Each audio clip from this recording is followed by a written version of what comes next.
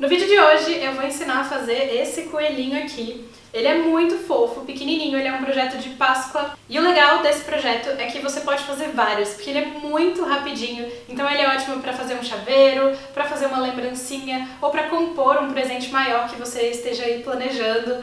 É, dá pra fazer vários desses coelhinhos aqui de várias cores, então ele é muito legal. E esse coelhinho, ele é parte de uma outra receita que está sendo lançada hoje. Se você está assistindo esse vídeo no dia do lançamento dele, é, saiu que essa receita já está disponível lá na minha loja é, e ela está em pré-venda. E é uma receita que eu amei fazer porque eu tenho algumas ideias, assim, algumas coisas que eu tenho vontade de fazer, eu acabo segurando um pouco porque eu tenho receio da aceitação e tudo mais, mas eu achei que valia arriscar um pouco e eu achei muito legal é, as respostas que eu tive lá no Instagram, enfim, eu espero que você goste também, eu vou deixar passando na tela aqui algumas imagens dessa receita que eu tô tão apaixonada, é um cenouro É um cenourinho com um cesto de coelhos, ao invés de ser um coelho com cesto de cenouras, a gente tem um cenouro com cesto de coelhos.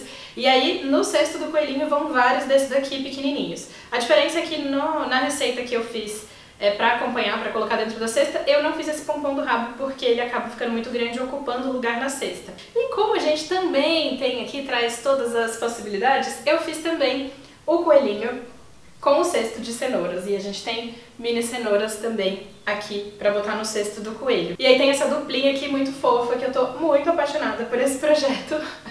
Ele já virou um xodózinho aqui. E se você se interessou por essas receitas, no final desse vídeo eu vou explicar como é que tá funcionando a pré-venda, mas vamos agora pro tutorial direto ao ponto para fazer essa fofurinha aqui.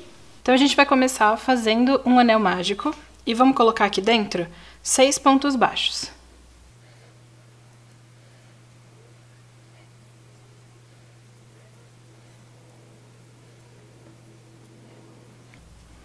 Aí a gente pode afrouxar o fio um pouquinho, puxar o fio que vai na mão, né, o fio pequeno. Agora na segunda carreira, a gente vai fazer seis aumentos seguidos, ou seja, dois pontos em cada um dos pontos da carreira anterior. E a gente vai terminar essa carreira com 12 pontos em toda a volta. Eu vou fazer aqui e já já eu volto pra gente continuar junto. Então tá aqui, eu tô com 12 pontos em toda a volta, e agora o que eu vou fazer na próxima carreira é um ponto baixo, e um aumento seis vezes. Eu vou fazer essa sequência de um ponto baixo e um aumento por toda a volta até eu terminar essa carreira com 18 pontos baixos. Então, eu vou fazer aqui e já já eu volto para a gente continuar junto. Então tá aqui, tô com 18 pontos em toda a volta e agora eu vou fazer a última carreira de aumentos. O que eu vou fazer é dois pontos baixos, um, no próximo outro, e no próximo eu vou fazer um aumento. Então vai ser dois pontos baixos e um aumento. E eu vou fazer isso seis vezes por toda a minha volta até eu terminar essa carreira com 24 pontos baixos. Eu vou fazer aqui e já já eu volto para a gente continuar junto. Agora que eu estou com 24 pontos em toda a minha volta, eu vou fazer quatro carreiras retas. Vou fazer apenas ponto sobre ponto por toda a volta. Eu vou fazer quatro carreiras retas aqui. Então, eu vou fazer, crescer aqui um pouquinho essas carreiras e já já eu volto para a gente continuar junto. Agora que a gente está com as, todas as carreiras retas aqui já desenvolvidas, a gente vai começar a diminuir. E eu vou fazer isso fazendo dois pontos baixos e uma diminuição seis vezes, até eu terminar essa carreira com 18 pontos. Para quem não lembra a diminuição invisível, a gente pega a alça da frente dos próximos dois pontos e finaliza o ponto baixo normalmente. Então, eu vou fazer isso, já fiz uma vez, vou fazer essa sequência de pontos mais duas vezes, até eu terminar com 18 pontos. Então, vou fazer aqui e já já eu volto pra gente continuar junto. Então, tá aqui, tô com 18 pontos em toda a volta. E agora eu vou fazer mais uma carreira de diminuição. Eu vou fazer um ponto baixo. Vou fazer um ponto baixo e uma diminuição seis vezes, até eu terminar essa carreira com 12 pontos. Então, vou fazer aqui e já já eu volto pra gente continuar junto. Tá aqui, tô com 12 pontos em toda a volta e a gente já terminou a parte da cabeça do nosso coelhinho. Agora a gente vai começar o corpo. E para vincar melhor o pescoço, eu vou usar uma técnica de fazer pontos baixíssimos apenas pegando a alça de trás dos pontos. Então tá aqui a alça da frente e a alça de trás é a alça mais de dentro. E eu vou fazer pontos baixíssimos apenas nessas alças. Então, vamos lá.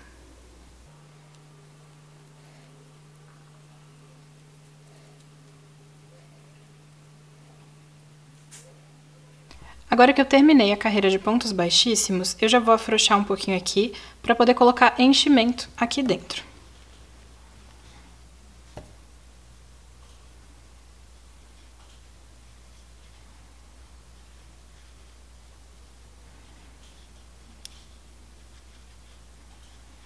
Tá aqui, já coloquei enchimento lá dentro.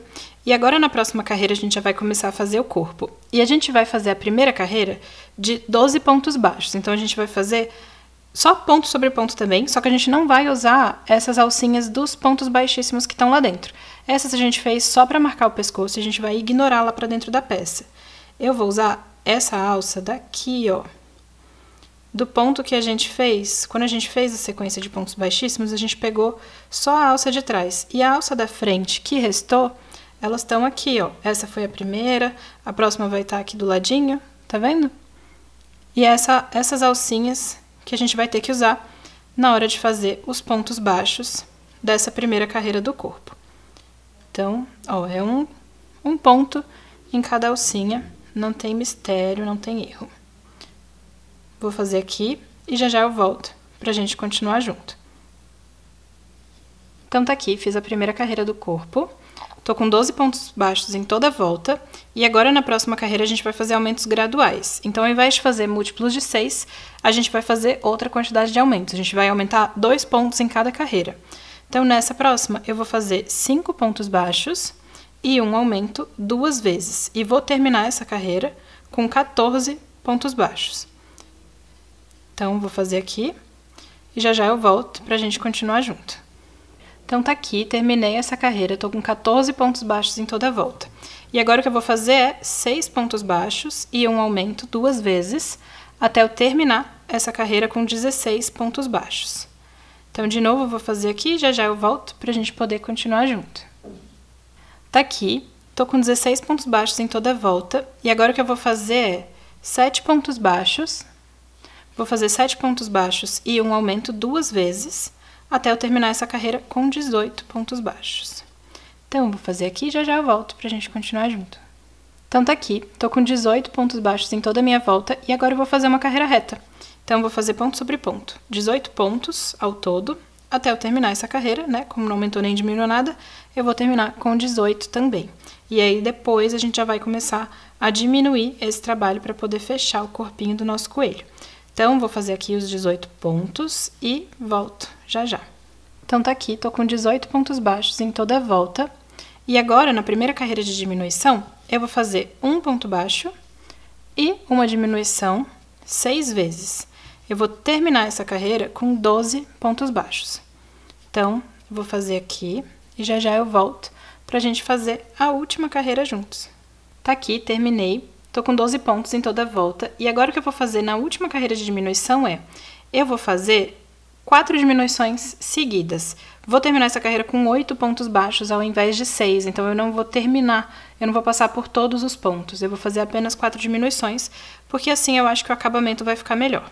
Se você quiser colocar enchimento agora, pode ser uma boa. Eu prefiro passar um perrengue depois para colocar enchimento por um espacinho pequeno.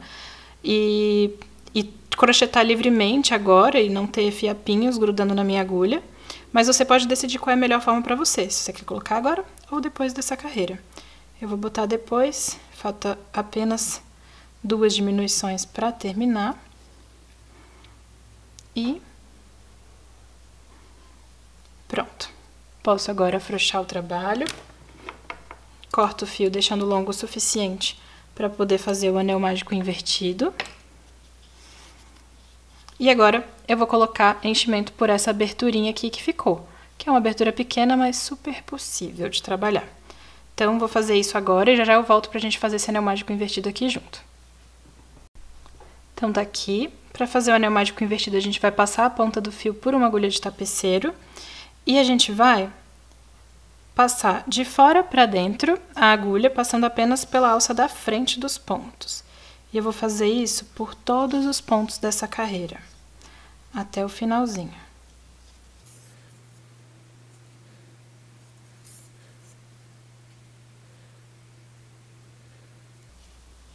Terminada essa carreira, né, terminada essa passagem de pontos, eu vou puxar aqui para fechar o nosso anel mágico invertido, vou inserir a agulha no centro dele, sair com a agulha lá do outro lado da peça. Puxo bem para fechar esse anel mágico bem direitinho e já posso cortar aqui rente.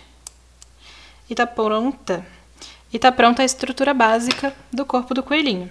Agora falta a gente fazer as orelhas e o bordado do rosto. E eu fiz desse jeito sem o rabo para miniatura, mas aqui, como a gente está fazendo uma peça um pouquinho maior, a gente ainda vai fazer um pompom para colocar aqui atrás dele. Então, vamos fazer essas orelhas. Para fazer a orelha é muito simples. A gente vai pegar o fio, fazer um nó corrediço e encaixar na agulha. Agora, a gente vai fazer sete correntinhas. Três, quatro, cinco, seis e sete. Agora, a gente vai fazer, voltando aqui, trabalhando os pontos da corrente, a gente vai começar no segundo ponto a partir da agulha. E vamos fazer três pontos baixos. Um, dois, três nos próximos dois, a gente vai fazer meio ponto alto. Então, laça a linha na agulha, insere no ponto, laça de novo e traz para frente. Agora eu tô com três alças na agulha, eu laço de novo e tiro as três ao mesmo tempo. Vou fazer de novo. Laça a linha na agulha, insere no ponto, laça a linha lá atrás de novo e traz para frente. Tô com três alças na agulha, laço de novo e tiro as três ao mesmo tempo. E agora, chegando aqui nesse último pontinho, eu vou fazer quatro meios pontos altos no mesmo ponto. Então, vou fazer o primeiro, dois, e tá vendo que aqui quando eu fiz, ele ficou com o buraquinho bem aberto aqui em cima. Para não acontecer isso, os próximos dois eu vou colocar como se fosse na alça do outro lado do ponto. Eu vou colocar bem aqui, ó nesse espacinho aqui. Então, vamos lá. Laço e coloco o primeiro ponto aqui e o segundo no mesmo. Agora, a gente deu a volta, né? Trabalhamos esse lado da corrente, deu a volta e agora a gente vai trabalhar esse ladinho aqui. E eu vou fazer dois meios pontos altos, então aqui nessa primeira alça eu faço um meio ponto alto, na próxima, faço o outro. E agora, três pontos baixos, um em cada ponta. Então, vou fazer um, dois, e aqui, por último, três. E tá pronta a primeira orelhinha. Agora, a gente vai afrouxar aqui o ponto. Vamos cortar o fio longo o suficiente para costurar depois essa orelha na cabeça do coelho. E vamos fazer uma segunda orelha exatamente igual a essa. Esse pontinho aqui, esse nozinho, a gente pode embutir aqui por dentro e cortar. Ou então, se você quiser, você já pode ir embutindo enquanto você está crochetando, que é um pouco mais fácil. Eu não fiz agora, mas assim, é super fácil de fazer. Mas qualquer coisa você pode só passar uma agulha de tapeceiro e aí cortar o excesso que tá pronto. Então, vou fazer uma orelha igual a essa e já já eu volto. Então, tá aqui as duas orelhinhas e a base do coelho. E agora, a gente vai fazer o rabo, que vai ser apenas um pompom. E para fazer isso, eu vou usar um garfo. Eu vou fazer o seguinte, vou cortar um fio que tenha uns 20 a 30 centímetros. E aí, eu vou pegar um garfo e vou passar o fio pelos dentinhos do meio, assim. Deixar ele mais ou menos pela metade, assim, tá vendo? Assim. Agora, eu vou pegar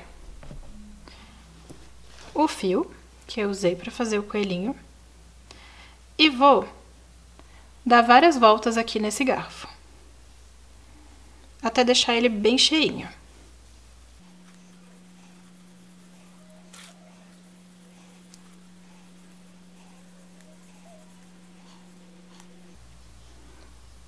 Quando tiver bem cheio assim, a gente vai pegar esse fio que tá aqui no meio, Vamos trazer as duas pontas dele pra cá pra cima. E a gente vai dar um nó bem forte, o mais forte que a gente conseguir. Deixa eu aproximar bem aqui da mesa. E vamos dar esse nozinho aqui o mais forte que a gente puder. Então, a princípio, a gente dá esse nó pra segurar tudo, aqui no garfo mesmo. E vamos deslizar esse pompom aqui pra fora. Aperto um pouco mais o nó. Seguro tudo muito bem. E faço outro nó por cima, pra poder ser um nó bem firme.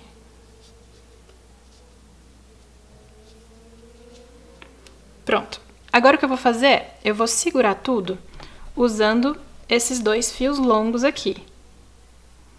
Tô segurando aqui a minha peça usando esses dois fios longos.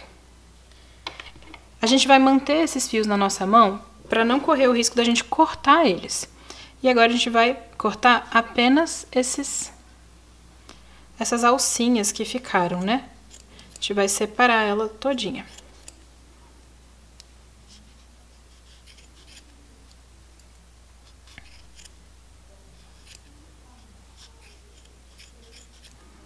sempre tomando cuidado para não cortar o fiozinho que une tudo. E agora que a gente cortou todos os fios, ele tá um pompom disforme, e a gente vai cortando para arredondar esse pompom. A gente vai cortar todo o excesso de fio. E não precisa ter dó, pode cortar bastante mesmo, porque como, como a gente quer um pompom bem pequenininho, não tem problema cortar muito. E quanto mais a gente corta, mais redondinho e perfeitinho ele vai ficando. Então, é isso, eu vou cortando aqui e já já eu volto já com o pompom finalizado para mostrar para vocês como é que ficou.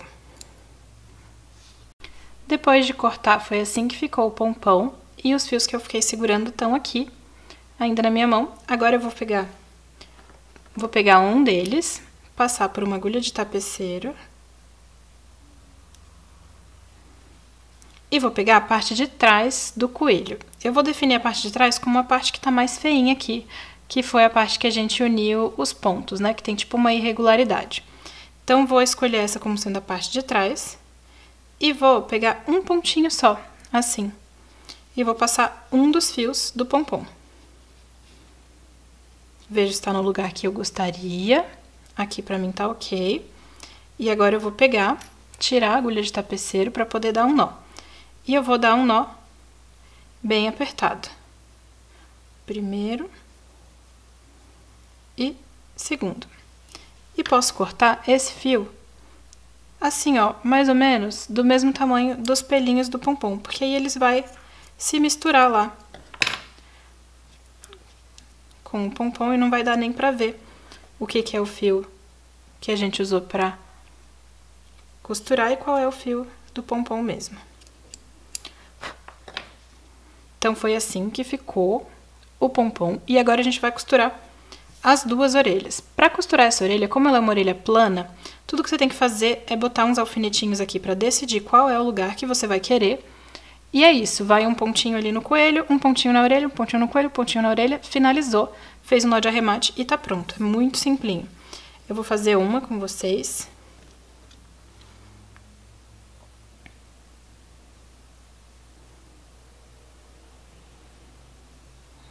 Tá aqui, passei pela agulha de tapeceiro. Vou fazer a primeira orelha. Vou costurar bem aqui, ó, ao lado do anel mágico.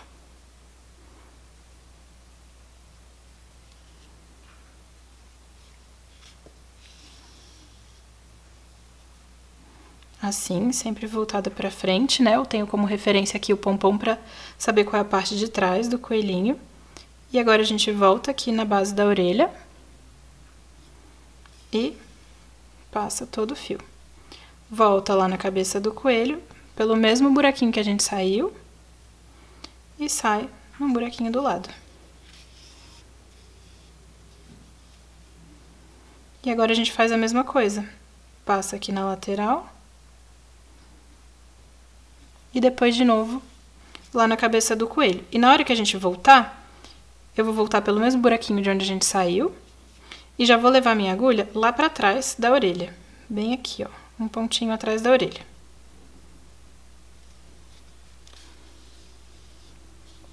Já posso puxar para ficar bem firme, bem certinha. E agora aqui atrás eu vou dar um nó de arremate.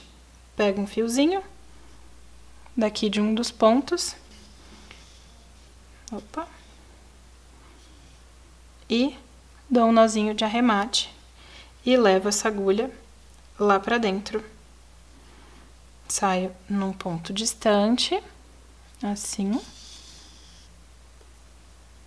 Dou uma ajeitadinha aqui onde eu repuxei. E aqui eu já posso cortar rente. E tenho a primeira orelha costurada. Agora eu vou costurar a segunda orelha e já já eu volto pra gente continuar junto. Tá aqui as duas orelhinhas costuradas. Agora para fazer o olho, a gente vai pegar um pedaço de fio preto e botar na agulha de tapeceiro. Eu vou entrar aqui numa lateralzinha e sair nesse ponto aqui. Esse ponto aqui, se você quiser usar de referência, são três carreiras acima do pescoço. Então, vou sair nesse ponto, deixar o fiozinho aqui solto por enquanto, pra gente poder voltar nele depois e dar um nó. E eu vou vir aqui em cima, no ponto logo acima desse que eu entrei. E vou passar a agulha duas vezes. Na segunda vez que eu passar, ao invés de já vir aqui para baixo, para o ponto de baixo, eu vou para o ponto lá da lateral onde eu quero bordar o segundo olho. Bem aqui.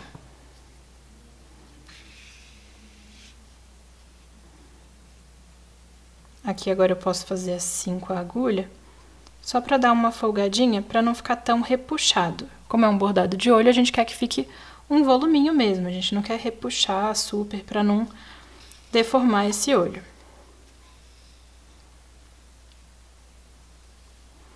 Agora que a gente já fez a primeira voltinha, a gente vai entrar de volta e sair nesse mesmo buraquinho aqui de onde ele veio. Lembrando de puxar bem delicado para poder... Opa, aqui tem um pelinho de enchimento. puxar delicado e se por um acaso você deixar ele repuxado, você pode vir com a agulha de tapeceiro aqui por baixo para poder folgar um pouco. Então, beleza. Terminado esse olhinho, a gente vem aqui na lateral, dá um nozinho nesses dois fios e coloca esse nó lá para dentro do trabalho. Com a ajuda da ponta da tesoura, bem assim, ó. A gente corta o fio e coloca esse nozinho lá para dentro.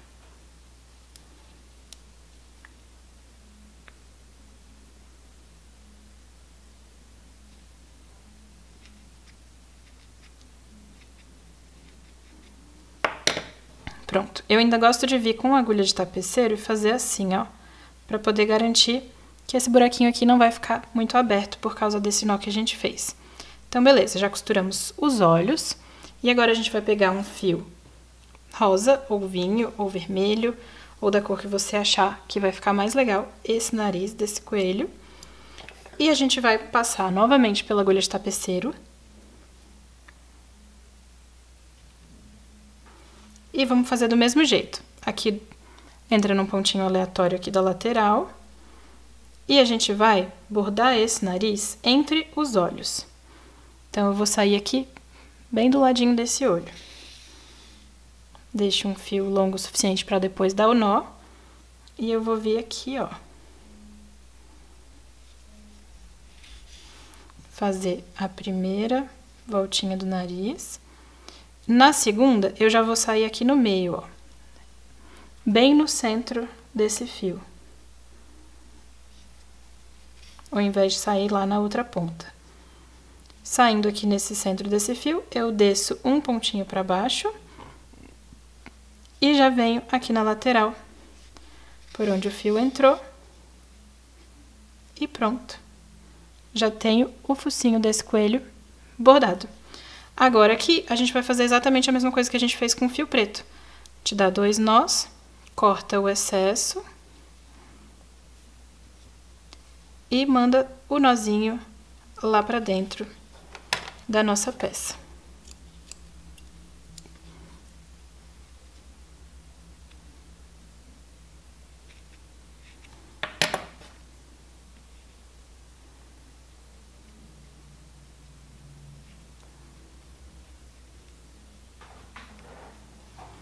E pronto, a gente tem nosso coelho prontinho para compor aí chaveiros, lembrancinhas, para fazer vários também para dar de presente, já que ele é bem rápido de fazer, a gente pode aproveitar e fazer um montão.